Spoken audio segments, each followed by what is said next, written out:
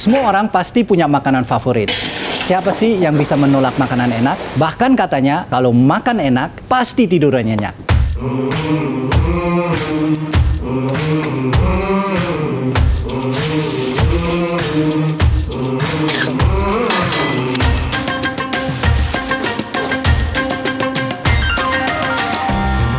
masakan sendiri terus kalau ada orang lain yang nyobain dan dia bilang enak rasanya tuh kayak wow Nah, kalau udah ada yang bilang makanan kita enak, berarti artinya makanan kita sudah bisa dijadikan untuk usaha. Yang namanya usaha, ada naiknya, ada turunnya. Gak selalu berjaya terus. Di pandemik ini, aku berdampak banget penjualan benar-benar turun. Pandemi ini nih, permintaan berkurang, penjualan juga turun, sampai udah kehabisan ide mau ngapain lagi saya. Dengan adanya kompetisi virtual chef yang diadakan oleh Bosch ini, saya harap gak cuma sekedar berkompetisi, tapi kita juga bisa dapat ilmu baru dari masak dan juga perencanaan bisnis.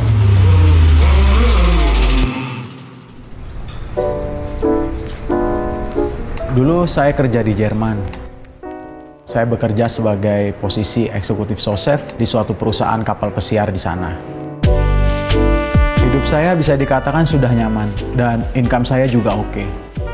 Tetapi semuanya tiba-tiba hilang karena pandemi datang, saya terpaksa terkena PHK oleh perusahaan saya. Dan saya harus kembali ke tanah air dan memulai semuanya lagi dari nol.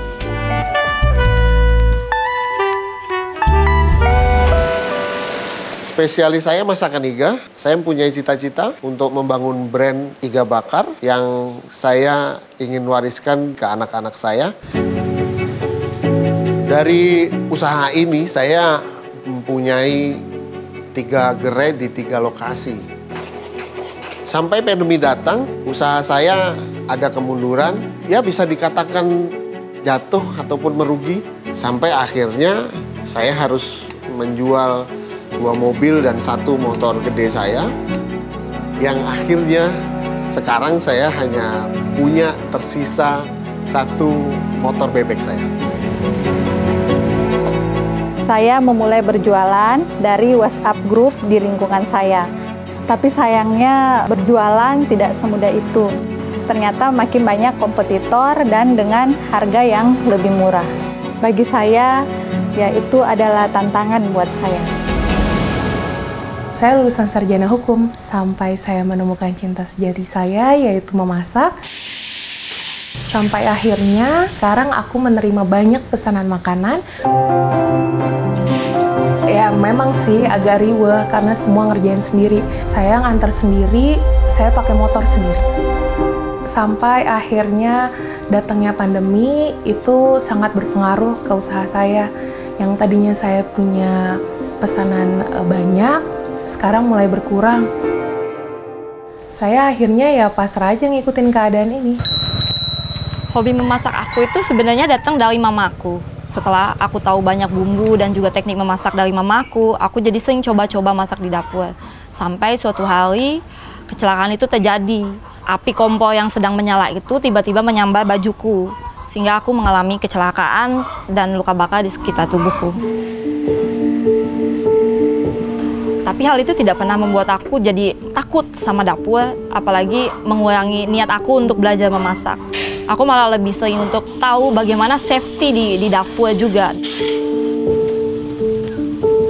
Tahun 2020 kemarin, tepatnya di Oktober, aku mutusin untuk buka kios di sini. Mau nggak mau, aku harus tutup kios ini.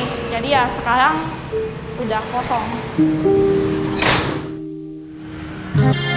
uh, yang membuat saya berpartisipasi dengan Bosch di dalam uh, proyek Virtual Chef ini. Kami sama-sama punya kepedulian dan kegigihan untuk terus berinovasi demi meningkatkan kualitas hidup. Dalam hal ini, untuk para UMKM yang terdampak pandemi. Para finalis akan masak dengan kreasi mereka masing-masing dan mereka boleh menggunakan bahan-bahan yang ada di The Gourmet. Saya di sini untuk mengawasi mereka dan lihat apa yang mereka masak. Di belakang kita jual makanan, ada banyak hal yang sangat penting. Finance, administrasinya, marketing, ini yang paling penting marketing. Percuma kalau kita punya barang bagus, tapi nggak ada yang tahu. Di kelas geologi, banyak banget sih ilmu yang aku dapat. Sederhana dan menarik. Bagaimana caranya melihat kompetitor lain, apa kelebihan mereka dan apa kekurangan yang mereka miliki. Para finalis akan masak masakan mereka setelah ikut chef expert class dengan saya. 5, 4, 3, 2, 1, go! Membuka pikiran banget dari segi pengolahan makanan, efisiensi waktu, higienitas.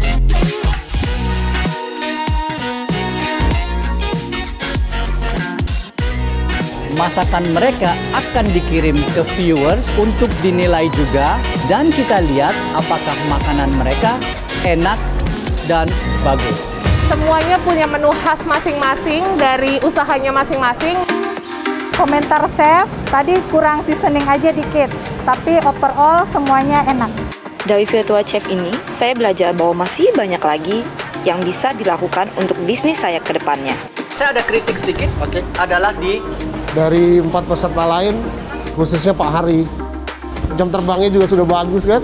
Jadi dari cara platingnya, cara masaknya, saya agak-agak deg-degan gitu. Aromanya udah keluar, asinnya, garamnya udah. Kalau ditanya ada perasaan akan menang, siapa sih yang nggak mau juara satu? Kalau semua orang ditanya kan pasti mau gitu. chef terbaik untuk Virtual Chef 2021 adalah Perfect. rasanya enak, asinnya dapat, gurihnya dapat, manisnya ada. Teksturnya sangat pas menurut saya. Hari ini keluarga saya bukan tersenyum lagi, bahagia dan meneteskan air mata tentunya.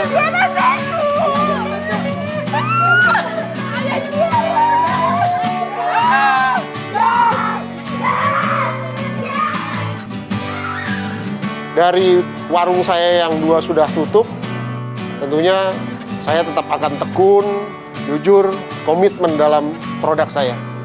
Dan tentunya tidak akan menyerah sampai produk dan brand saya besar. Yang terutama adalah kita harus tetap maju dalam menjalankan UMKM. Karena kalau bukan kita siapa lagi? Do what you love and love what you do.